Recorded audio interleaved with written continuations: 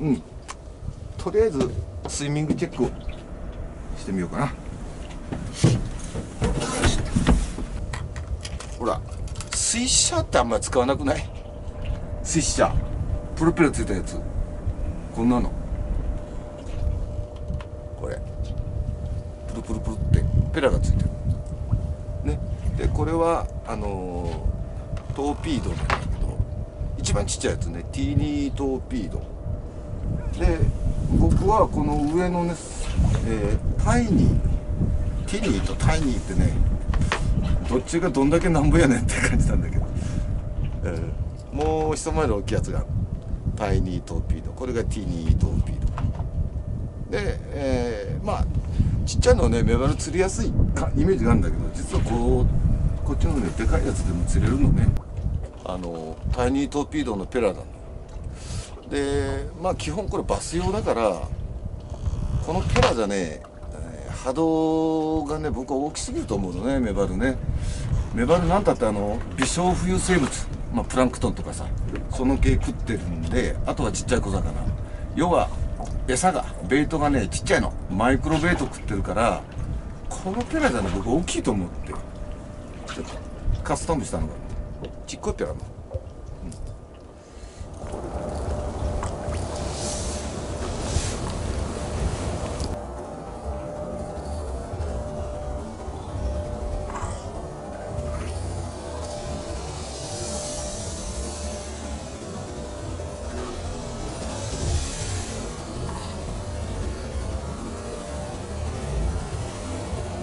もうメバル相手だから本当にね水面で何か小魚がピシャッと跳ねたぐらいの音出せばいいの。だからこんな感じ。で止めて待っとくと下からパカッと出てくる。こんな感じです。うん。少しダイビングするしね。ペラがシャッと水かき混ぜて。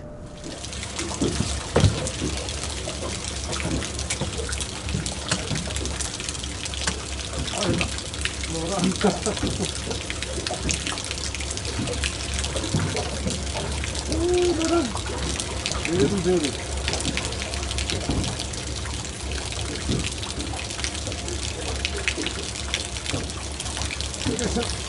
あ適当やっと乗ったやっと乗ったよフルキャストした位置で。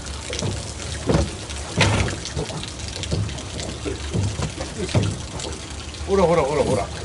ほらトップ出るやつでかいんだからほら。ほら。でかいやろ。ね。こ今日今日釣った中でも全然違うだろサイズが